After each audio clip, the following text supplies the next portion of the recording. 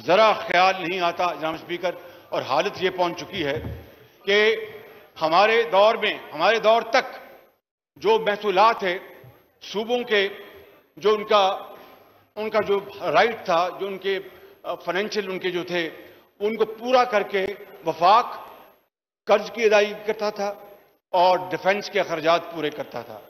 आज हालत ये पहुँच चुकी है कि नेशनल फाइनेंस कमीशन के तहत जब आप सूबों की उनकी अदायगी कर दें, उनकी सूबों की तो उसके बाद आज जो सूरत हाल है, वो कर्जे अदा करना और डिफेंस के अखराज पूरा करना, जान जोखों का काम हो चुका है। इनको डिफेंस के लिए कम से कम तीस, चालीस परसेंट कर्जे पकड़ने पड़ेंगे, उनकी जरूरियात पूरी करने के लिए। तो जो मैं समझता हूँ कि मुल्क अपनी माशी सिक्योरिटी को कमज़ोर कर बैठे, उससे ज़्यादा बड़ा खतरे का और लम्हा नहीं हो सकता। इसलिए मैं जनाब स्पीकर, ये मैं आपकी समा खारजी कर रहा हूँ और आपके ज़रिए, आपके तोस के ज़रिए मैं इस ऐवान की खदमत में ये बात अर्ज़ कर रहा हूँ कि इनके होते हुए पाकिस्तान की जो मीशत है, पाकिस्तान की जो सिक्योरिटी है, वो, ये सिक्योरिटी रिस्क बन चुके हैं। और आज मैं आपको बताता हूँ कि इन्होंने इस मिनी बजट में क्या क्या ये चीज़ लेके आए जनाब स्पीकर। मैं आपको ये ये मैं अर्ज़ करता हूँ। आप आपके रोंगटे खड़े हो जाएँगे। You will hit the roof probably zero zero tax से बेकरी अंदाज़ा करें बेकरी की आइटम्स उसके ऊपर टैक्स लग गया, अंडों के ऊपर टैक्स लग गया, मर्चों का, लाल मर्चों के ऊपर टैक्स लग गया। जनाब स्पीकर इससे बढ़कर, दूध, उसके ऊपर टैक्स लग गया। और शीरखार बच्चों का जो दूध होता है मिल्क पाउडर उसको भी नहीं उन्होंने बख्शा उसको भी टैक्स लग गया। ये तो हमारे गरीब आवाम का माशी कत्लेआम है। पहले ही वो बेचारे एक वक्त की रोटी को तरसते थे। पहले ही वो बेरोजगार हैं। वो अपनी दवाई, इलाज का इंतज़ाम नहीं कर सकते।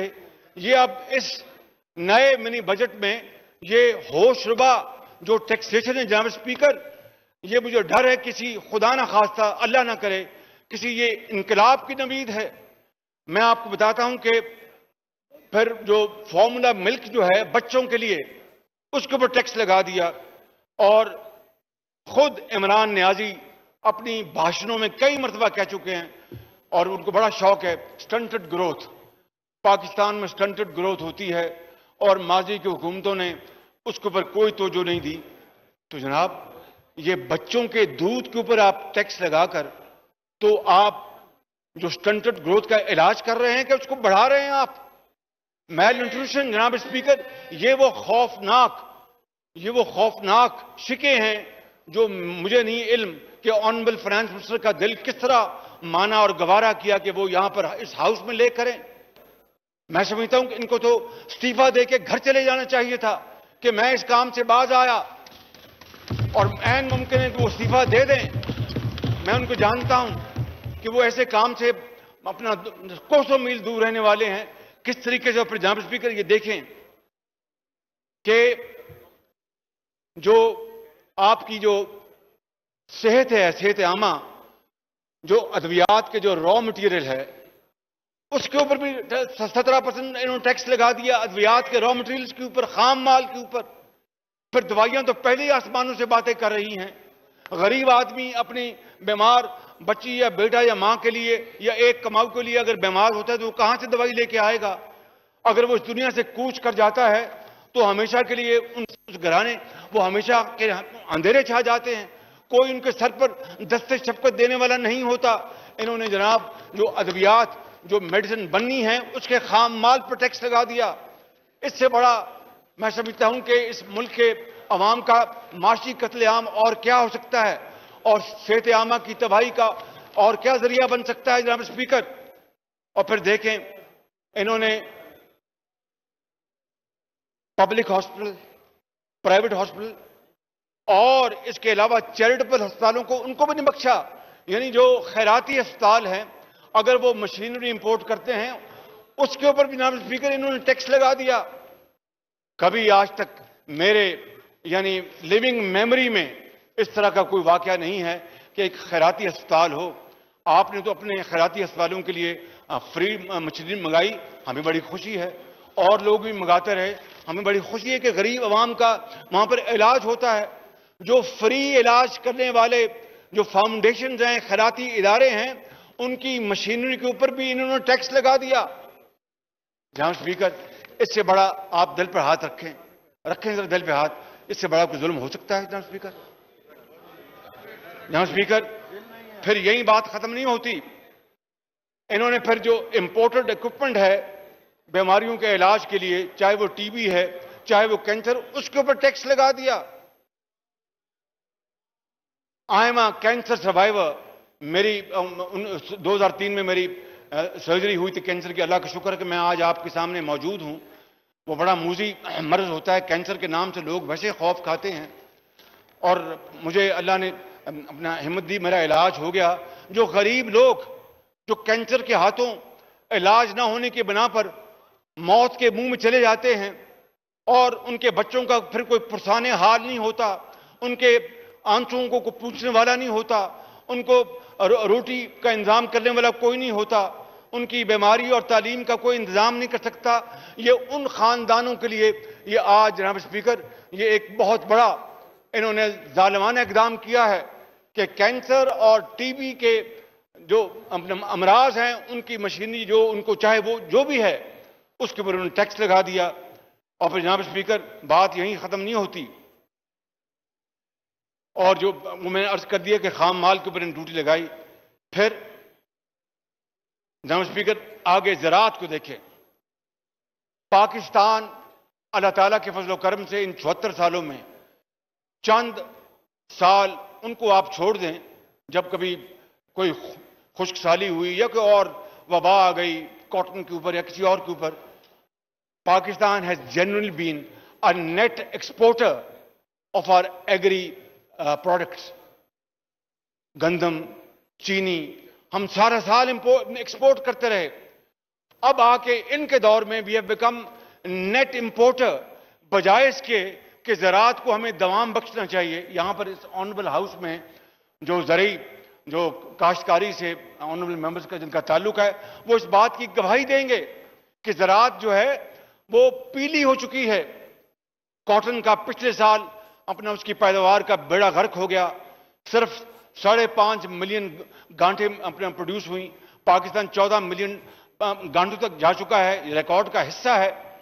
और फिर जिस तरह इन्होंने चीनी बार बार और गंदम बार बार इंपोर्ट की, अरबों डॉलर उसके ऊपर बर्बाद कर दिए। जो मुल्क, जो कि, जिसका एक सबसे बड़ा, जो उसका, इसकी जो कैपेसिटी है, वो एक्सपोर्ट आम जो है, वो हमारी ये एग्री प्रोडक्ट्स है। वो बजाय हम एक्सपोर्ट करने का उनको इंपोर्ट कर रहे हैं और अरबों डॉलर पाकिस्तान का जाया हो रहा है। हर साल इनके दौर में अब अब देखिए अभी भी ये इंपोर्ट हो रहा है अपना गंदम भी और चीनी भी। और फिर एलएनजी का जो हशर हुआ उस, उस वो एक अलहदा स्कैम है। अरबों रुपए वहाँ पर खाए गए और पाकिस्तान के बर्बाद किए गए।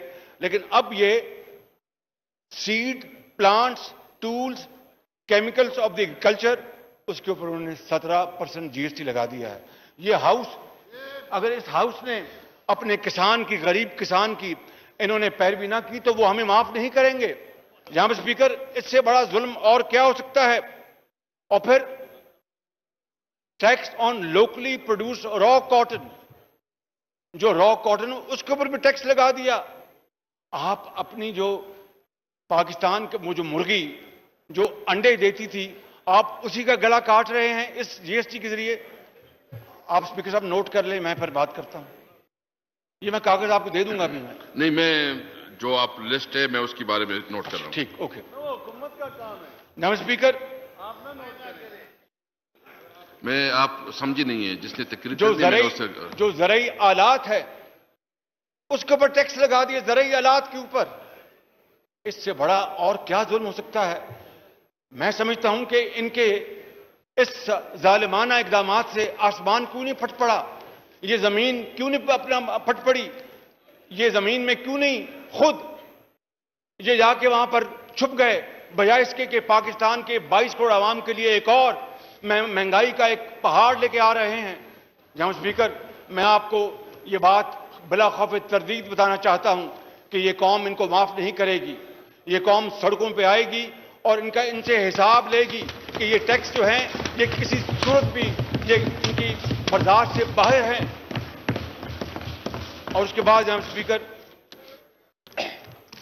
चूँकि ज़रात की मैं बात कर रहा हूँ, और ये बात it's a matter of record it is a matter of record कि हमारे जमाने में जनाब स्पीकर, यूरिया यूरिया जो था, यूरिया, उसकी कीमत बारह सौ रुपए थी एम राइट बारह सौ रुपए बारह सौ उसी की बात कर रहा हूँ बारह सौ रुपए थी आज जनाब स्पीकर वो सैंतीस सौ रुपए सैंतीस सौ रुपए पे है सैंतीस सौ रुपए पे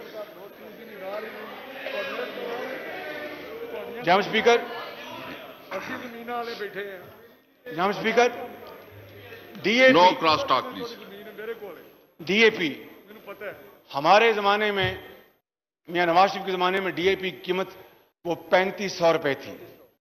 आई एम सॉरी चौबीस आई स्टैंड करेक्टेड सर मैं I was on the on the higher side ताकि ये तरदीद ना कर सके। जनाब स्पीकर चौबीस सौ और आज आज डीएपी ये मैं बात इस मौजूद ऐवान में आपके सामने आपको गवाह बनाकर कह रहा हूँ कि आज साढ़े नौ हज़ार रुपए में भी ब्लैक में मिल रही है, ब्लैक में।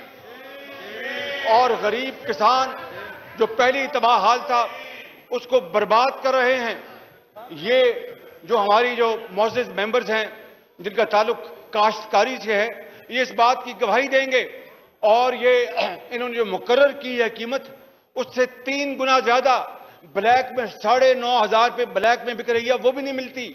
और वो कौन लोग हैं जो ब्लैक कर रहे हैं? वो इनके फ्रंट मैन हैं, वो इनके डीलर्स हैं, वो इनके एजेंट्स हैं, वो इनके मिडिल मैन हैं, जो दोनों हाथों से गरीब किसान की जेबें जो हैं, वो खाली कर रहे हैं। इससे बड़ा जुल्म, जनाब स्पीकर, और क्या हो सकता है कि आप एक तरफ़ किसान की जो खाद है, उसकी जो डीएपी है, उसका यूरिया जो है, वो आसमानों से बातें करें, आप उसको से एक्सपेक्ट करें तो करें कि वो पैदावार बढ़ाएगा और वो एक्सपोर्ट होगी। जनाब स्पीकर ये किसको बेवकूफ़ बना रहे हैं? किसको धोखा दे रहे हैं? मैं समझता हूँ कि इससे ज़्यादा दर्दनाक, हौलनाक सूरत हाल चाहे वो ज़रात है, चाहे वो सनत है, चाहे वो कारोबार है, चाहे वो आम आदमी है, इससे ज़्यादा खराब सूरत हाल पाकिस्तान की तारीख में कभी पैदा नहीं हुई।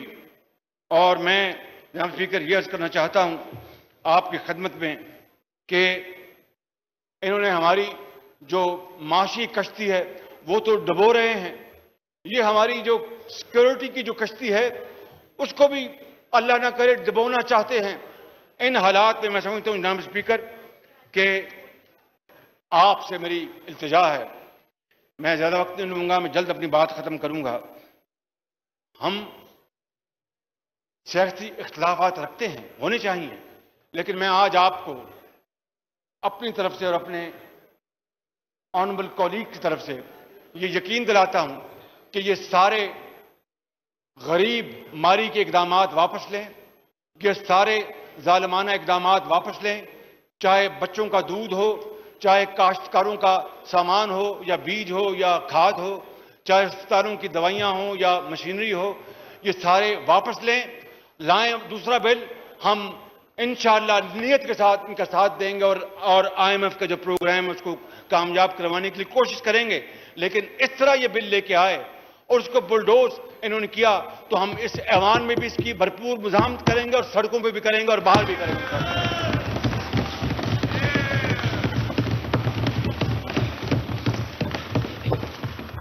यहाँ स्पीकर सिर्फ़ एक अरब डॉलर के लिए ये अपनी पाकिस्तान की मीशत और आज़ादी को गिरवी कर रहे हैं। मैं आपको वो याद दिलाना चाहता हूँ।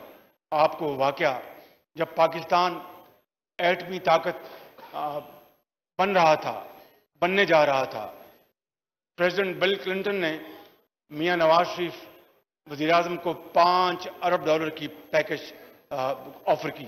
मैं उसका ऐनी शाहिद हूँ, गवाह हूँ। अजम ने पाँच टेलीफोन कॉल्स भी आए, पाँच। हर बार उन्होंने कहा कि ये मेरे लिए बड़ा मुश्किल है, ये मुमकिन नहीं है। हिंदुस्तान ने ये हरकत की है, ना करते तो शायद हम इसके ऊपर इस तरह का इकदाम ना उठाते। अब मेरे पास कोई चारा नहीं है। ये पाँच अरब डॉलर की आपकी पेशकश। बहुत मेहरबानी, बहुत शुक्रिया जनाब सदर। लेकिन मैं पाकिस्तान के अवाम का, मैं मुस्तकबिल तारीख नहीं कर सकता। मैं इसको नहीं लूँगा, मगर पाकिस्तान की इज़्ज़त पर मैं आँच नहीं आने दूँगा। और अल्लाह ताला के फजल करम से पाकिस्तान कायम दायम रहा। आज ये एक अरब डॉलर की खातर जिनके बारे में खुद ऑनबल फाइनेंस मिनिस्टर उन्होंने गोया हुए कि वो खड़ा हो गया इमरान न्याजी। वो तो आज घुटने टेक चुका है। मैं समझता हूँ कि जनाब स्पीकर, जो कौम भीख मांगती है और भीख की आदि हो जाती है, वो कभी तरक्की नहीं कर सकती। Handouts and aid and dole outs never ever they have been able to strengthen a society on its feet कभी नहीं हुआ। पाँव पे खड़ा होने के लिए आपको जरी बनना पड़ता है, मेहनत करनी पड़ती है, अल्लाह पर तोकन रखना पड़ता है। दिन रात मेहनत करनी पड़ती है, उसके बगैर आप बातों से आप ताकतवर नहीं हो सकते। जहाँ स्पीकर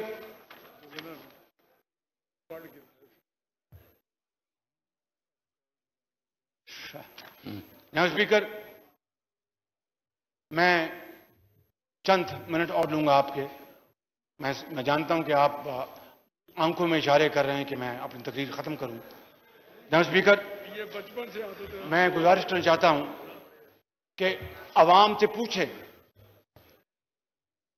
आम आदमी से पूछें कि महँगाई है कि नहीं। सिर्फ़ चंद हफ़्ते पहले जनाब स्पीकर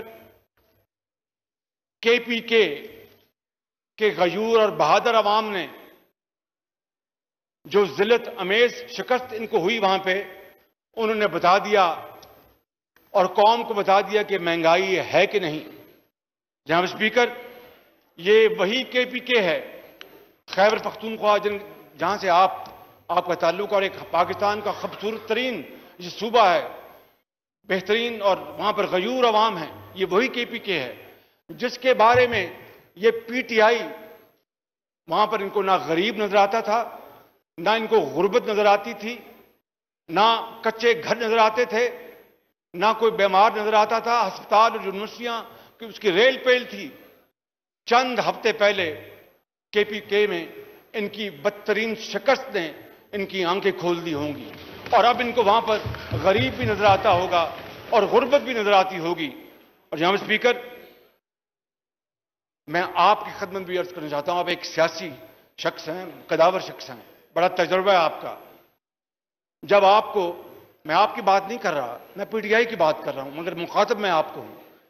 जब आपको गरीब और गुर्बत नज़र ना आए तो मैं आपको बिला खौफ तरदीद कह सकता हूँ कि फिर आवाम को पीटीआई अगले इलेक्शन में नज़र नहीं आएगी बिल्कुल।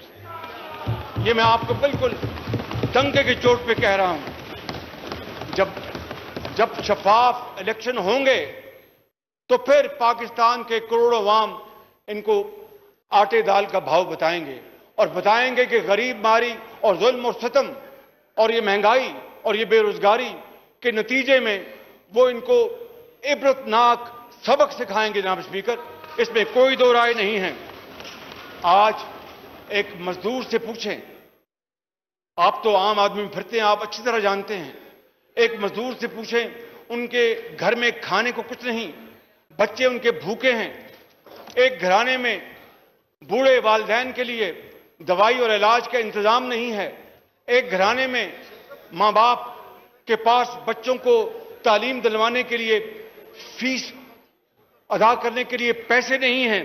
जहाँ स्पीकर उनसे पूछें जिनके पास ज़िंदा रहने के लिए कोई वसीला नहीं है और जहाँ स्पीकर वो सफ़ेद पोश जो करोड़ों इस पाकिस्तान में और सफ़ेद पोश की तारीफ़ आप जानते हैं कि जो किसी के आगे हाथ नहीं फैलाते, वो सफ़ेद पोश, इनको क्या पता वो सफ़ेद पोशों के साथ क्या बीत रही है कि उनकी सफ़ेद पोशी की चादर, महँगाई, बेरोजगारी और गुर्बत के हाथों छिन चुकी है। जहाँ स्पीकर, इससे बड़ा जुल्म क्या हो सकता है कि जो नाम लेवा हो रियासत मदीना के तो वहाँ पर एक यतीम, बेवा, सफ़ेद पोश, सब लुट पुट जाएँ, ये हो नहीं सकता। ये मुमकिन नहीं है। अल्लाह की हाकमियत में ये मुमकिन नहीं है। कुरान करीम इस बात की गवाही देता है। ये बात सिर्फ़ इसलिए हो रही है कि इनके अमल में ज़मीन आसमान का फ़र्क है। ये बात कुछ करते हैं और अमल उसके उलट करते हैं। यही वजह है कि आज ये तमाम वबाएँ पूरे पाकिस्तान में अपने आगोश में ली हुई जनाब स्पीकर, मैं ये कहना चाहता हूँ कि वो सनतकार जो इस मुल्क के लिए फॉरेन एक्सचेंज कमाते हैं, लाखों लोगों को रोज़गार देते हैं, आज उनकी संतों से कि चिमनियों से धुआँ निकलना बंद हो चुका, हज़ारों लाखों लोग बेरोजगार हो चुके, आज कारोबारी लोगों का कारोबार ठप हो चुका। आज एक मजदूर जब चौकों और चौराहों में जाते हैं, आप सुबह देखते होंगे, सुबह छह बजे पहुँचते हैं, पाँच बजे फजर के बाद सारा दिन गुजार देते हैं। शाम को घर वापस आते हैं कि उनको मजदूरी नहीं मिलती। वो कहाँ से अपना पेट पालेंगे? कहाँ से गरीब बेटे के लिए अपना इलाज का इंतज़ाम करेंगे? कहा माँ के लिए इस इस जाड़े में, सर्दी में कोई गर्म बनियान लेके आएँगे? यहाँ स्पीकर, ये हैं वो हालात। और मैं आपको अर्ज़ करना चाहता हूँ कि जिस तरह मैंने बात की, ये किसानों की, ये किसान मारी जो इन्होंने की है, पहले भी और अब इस मिनी बजट में ये जनाब स्पीकर ये है वो एक तवील दास्तान, जो कि किसी भी क्यामत से कम नहीं है जो गरीब अवाम को निगल रही है। मगर मैं ये बताना चाहता हूँ, आपको ये बात मेरी नोट कर लें जनाब स्पीकर, कि वो दिन दूर नहीं, जब गुर्बत बेरोजगारी महँगाई से सताए हुए अवाम का एक गजबनाक रेला वो निकलेगा और इस तारीख की सबसे नकम्मी नाहल और करप्ट पीटीआई की हुकूमत को वो खसो खाशाक की तरह बहा ले जाएगा। थैंक यू जी। मैं फिर आखिर में इनको इन्होंने कभी हमारी बात को ना मानना तो दूर की बात है उसके पर गौर करना भी कभी इन्होंने पसंद नहीं किया, क्योंकि ये अपनी अना में, ये अपनी अना में गिरफ़्तार हैं, अपनी जिद में रहते हैं, अना में रहते हैं। ये समझते हैं अपने आप को आइंस्टाइन, लेकिन उसके बावजूद भी नाम स्पीकर, होपिंग अगेंस्ट होप, मैं इकबाल के इस बात पे, इस शेर पे बात खत्म करता हूँ। शायद कि इनको बात समझ में आ जाए कि तमन्ना आबरू की है अगर गुलजार हस्ती में। जनाब स्पीकर तमन्ना आबरू की है अगर गुलजार हस्ती में तो कांटों में उलझकर ज़िंदगी करने की खू कर ले। और नहीं ये शान खुददारी, चमन से तोड़ कर तुझको कोई दस्तार में निकले कोई जेबे गुलो कर ले।